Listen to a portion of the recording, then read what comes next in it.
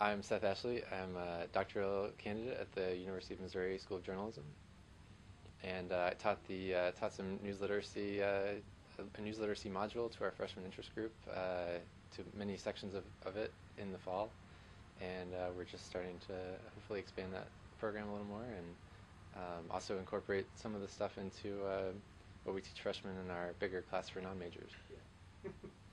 Coming to the Summer Institute was uh, was helpful. We definitely incorporated some of that material directly into what we did in the fall with our freshman interest groups, and um, the I think one of the best things uh, that I got out of it was just uh, to walk away with a ton of examples and a you know kind of prepackaged curriculum that you can really use the day you're, you're finished. And obviously, everyone wants to adjust it to fit their own suit their own needs, but uh, it's a great place to start. And uh, you know, sometimes finding examples is the hardest part or the most time-consuming part of putting putting the stuff together. So the fact that you guys help uh, help with that is very valuable. I think uh, you know some of the stuff lacks um, empirical validation. I think that's probably something that a lot of scholars are going to want to see more of before they move forward with the stuff. I mean, everybody wants that, right? You want to know how to assess things and show that they're useful. So and see what the long-term effects are. And I think I know you guys are trying to get at that. What you know, what, what long-term effects on engagement and um, political knowledge, that kind of thing. So, so the FIGs are they are self-selected.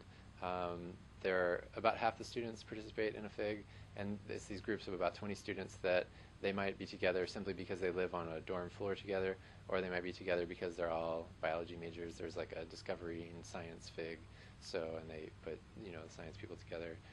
Um, there's engineering FIGs, you know, so some of them are grouped by major, some of them are simply grouped by uh, the floor you live on.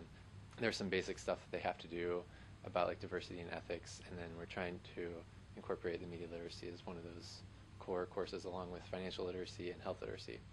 We did eight, I think, but we tried to at least give them a chance to say, this was stupid, I didn't learn anything, this was a waste of my time, or to say, this was great. I hadn't thought about this stuff, and we got both kinds of responses. But I'd say more of the uh, the latter, more more positive than. Uh, and um, the faculty that were all the all the FIGs have a faculty advisor too. So and they loved it. You know, there was really really good response from uh, from faculty. So I think there's definitely interest for this kind of stuff all across campus important thing for teaching news literacy is to really move up and down the ladder of abstraction as much as possible um, you know, start start with concepts, um, but or start with examples, but move quickly back and forth between the two.